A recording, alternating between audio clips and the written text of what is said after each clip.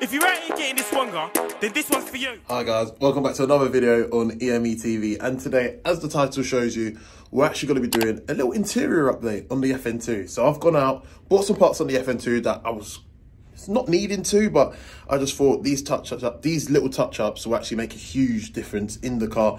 Obviously, I'm due to get the bodywork sorted at a sooner date. Hopefully, that will be coming to the channel. I assure you. Well, without further ado, let me show you what I've got to spice up the interior of this FN2. So, anyway, guys, thought I'd come down to the car and show you guys what exactly we've got here. Now, we've got the carbon fiber petrol cap that I had that fell off. I'm going to be trying to reinstall that, but the interior stuff forget that. But we've got new leather for the like gear gator thing there which as you can see mine is in an absolute dire condition. I've been literally eager to get that changed for a while but this is actually quite complicated to install and i don't know if i can do it myself. I'll probably have to get help from a specialist or somebody a body shop or something to actually do that because i believe you've got like staple the m bits round the circular bit of that because when i was buying this idiotly or stupidly i didn't realize that you don't doesn't come with like the base circular thing so i have to try and work this out. I also bought another two carbon parts so you can see this goes over like the type r little badge just underneath there and then the little storage compartment bit. I went and got a little carbon bit for that to go there so those two pieces there should really like brush up and make that area look very very very nice indeed. I went ahead and also if i, if I can if i can actually get it out stupidly, I should have actually taken it out of the box before like starting to record, shouldn't I? Anyway, give me a second. I went and got a carbon fiber Mugen gear knob because mine, as you can see probably for me, I don't know if the camera will do it any justice, might put some close-ups up, was in dire condition. So that is going to be a nice little upgrade to install on the car as well. Now, where's my little last part? Last but not least, I thought these were kind of cool and they're little carbon parts that actually go in between the doors, just in between there as well. And another part that I need to buy is the little carbon strip as well that goes across here, just over like the door handle like area bit here. But yeah, I'm probably sure you guys know exactly what I'm talking about. But without further ado, I'm gonna get my Loctite glue that I've got in the car and try and install these parts in here, bar, where is it? The lever, because I actually don't think I can install that and I don't trust myself to do it properly. So anyway, I'll try and do what I can in this video. But yeah, let's try and make the interior look a lot nicer than what it does at present. So yeah guys, we're starting off with the carbon fiber petrol cap that's actually fallen off now twice. Really annoying. I don't know why it is. I'm using the recommended glue, which is a Loctite that um, Carbon My Ride actually advised me to use and I'm putting it over the OEM part which they told me to do. Now I've seen some people actually replacing the carbon part with the genuine Honda petrol cap and actually putting the carbon one in its place. Now I don't know how that would look. I'm just doing what I was recommended by the people that actually bought, purchased the, the product from. So let's hope this is the last time I'm actually going to be gluing this down. Now moving on. Moving into the interior now, doing the storage compartments, obviously one for the little storage compartment just on top of the sort of gearbox holder and then the gearbox holder i don't really know what to call that bit but the bit below the little storage compartment that you got. So just gluing it down using the loctite glue as i usually do pushing it on trying to hold it and making sure that fingers crossed it's not actually going to fall off. Now when i was doing this i was actually just putting the glue on, trying to sort of level it up, um, and then just holding it for the recommended. It recommends you to hold it on the Loctite for about 60 seconds, but I was doing a minute and a half. As you can see, after that, I was just literally flicking it up and down to make sure that it was actually in place and stuck on properly, and then moving on to the lower bit that we've actually got. But yeah, guys, let me know down below in the comments if you guys are fan of carbon. This will definitely not be the last pieces of carbon that I'm going to buy. I'm always on the search for sort of good offers and prices on carbon parts. I know there's loads on carbon my ride. But yeah these ones obviously got second hand still in good condition.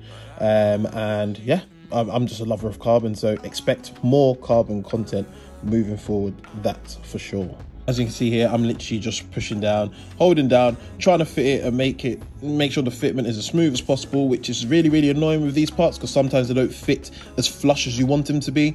Um, this i'll probably need to revisit because the end product isn't as flush as i need it to be. I think the actual um, the bottom part of just underneath the storage compartment which i don't know what to call will actually need to come out and then you place the part on it um that's what i think because the fitment wasn't just it wasn't good as good as i wanted it to be but yep now the gear knob was really really quite simple. Obviously, taking the old one out and putting in the new one, just putting on the screw and then screwing on the new carbon gear knob there. So yeah.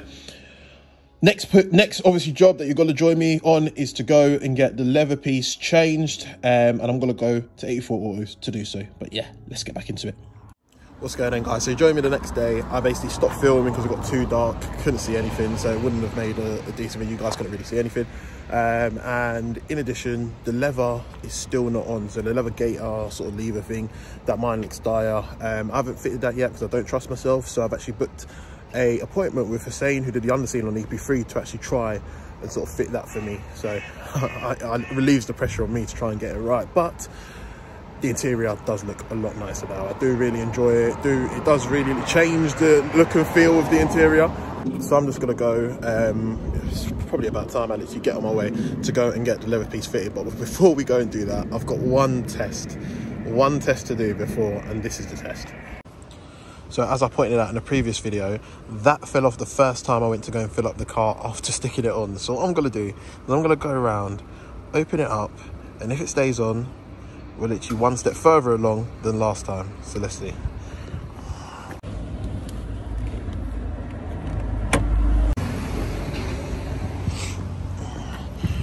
Moment of truth, open it up.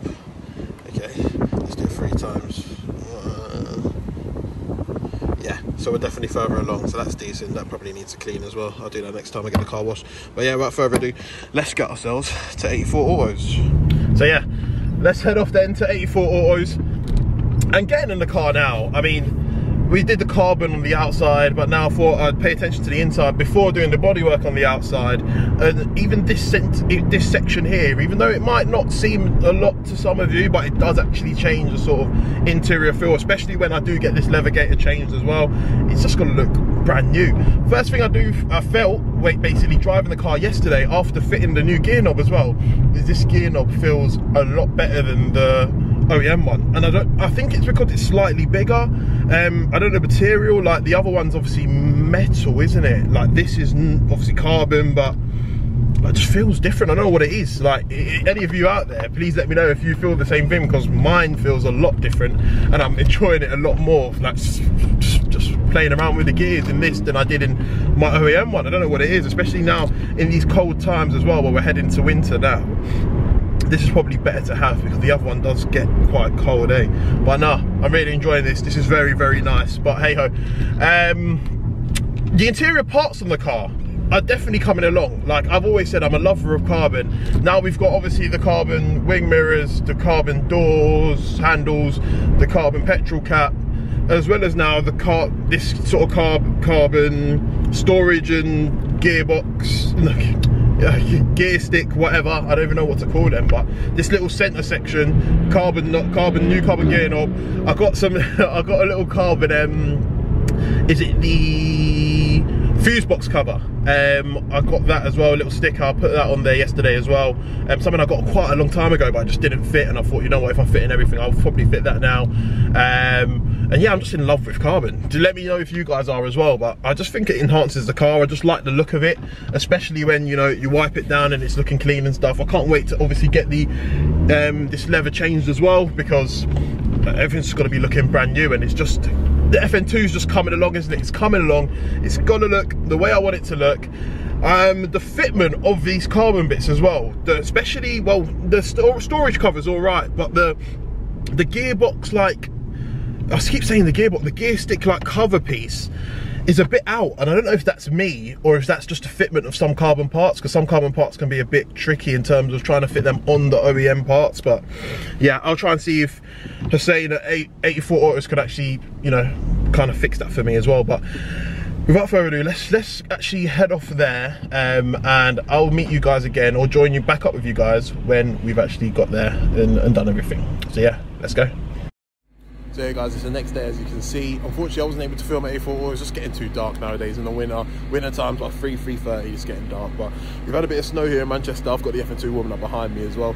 But the interior upgrades, really happy with them. They do really enhance the interior and with that gate as well now being fitted.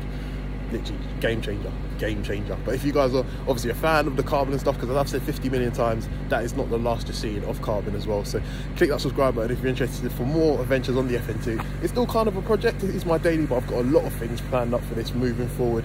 And obviously with the GTI as well, which is new project on the channel yeah, we got some new content, so don't hesitate to hit that subscribe button, hit that thumbs up button. Um, I appreciate all the support as always, guys, and I guess I'll see you guys on the next one. Peace. Mate, if you ain't getting this one, then this one's for you.